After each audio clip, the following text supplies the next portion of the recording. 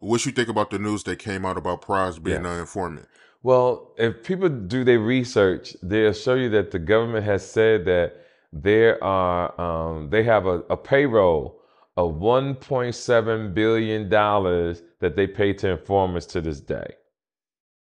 To this day, and I always tell people there's a myth in this world, but only in the black community where we lie amongst each other and say, "Oh, we'll condemn someone. Oh, that motherfucker's a snitch, yo. Fuck that nigga." But the nigga who's saying is the snitch. Do you understand what I'm saying? Like, I seen niggas go around like, yo, that motherfucker, but that nigga who's saying it is a snitch.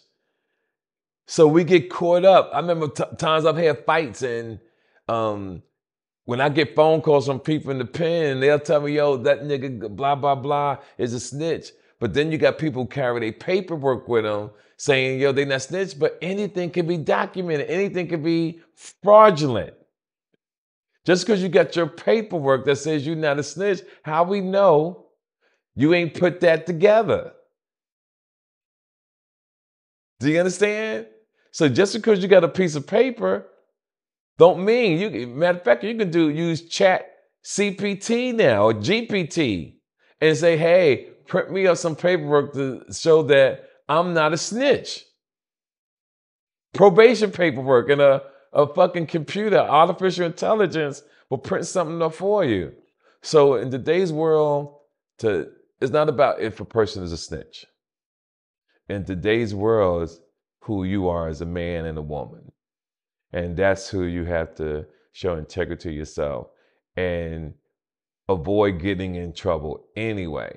Even though sometimes you you meet people who will bring try to bring damage to your life, but um, you just got to know how to fight and and and, and um, get it together so people don't take you down. Because there's people in this world that would try to take you down. I, I don't care who they are; they would try. It, it's just the hate is real, and I don't even think it's hate. I just think that um, just people who are who, who they are is sad. What was your reaction when you first heard that though? Because I mean, for me personally, it caught me by surprise. Me being a fan of you know Lauryn Hill. I said the modern James Jason Bourne.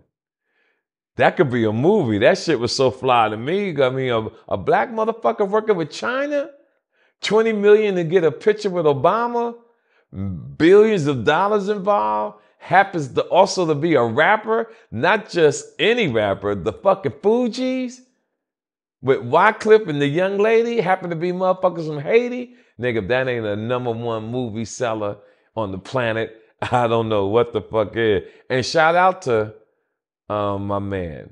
Like um, he he made a choice.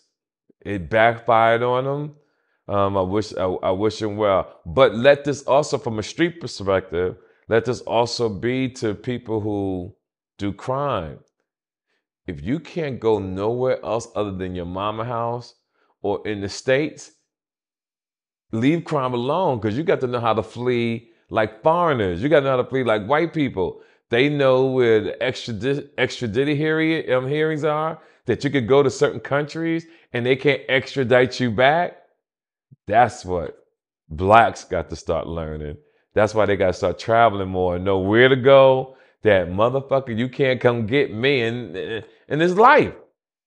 But if you're gonna be on that that tier of crime, that's what my suggest suggestion is. Because most people do petty crime and they stay in the neighborhood, go to their mom house or their girlfriend house or a friend in a whole nother state, and eventually you're gonna get caught.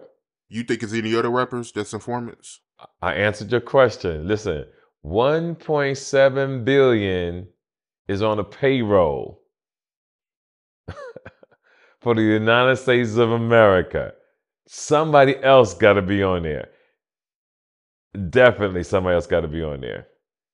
So, you know, sometimes you got to put two and two together. If you if you saw somebody catch a case, a serious case, and they never went to jail, and you say they had a good attorney, but it, the, two don't match, ah, nigga, somebody telling on somebody. So look at Troy Ave and Taxstone. Troy Ave testified against Tax. And we found out today that Troy Ave got to go to prison Could you imagine how he feels, yo? Yeah, man, that's a terrible feeling, man. Like you already told people calling you a snitch, and you still got to go to prison. Right, right. Because what's going to happen is going to happen. Damn. Yeah, that's a Mhm, sad way exactly. to go out, man. I feel bad for that dude. man. Exactly. To go out like that, man. Yikes. I see that's really bothering you, yo. Yeah, man. I mean, that's crazy, yo. I never heard of that Yes. before, man. That's a crazy way to go out. You did all that chilling, and you still got to go to prison. You took all that criticism, Right. everybody calling you a snitch, and you still got to go to prison, yo. That's crazy, man.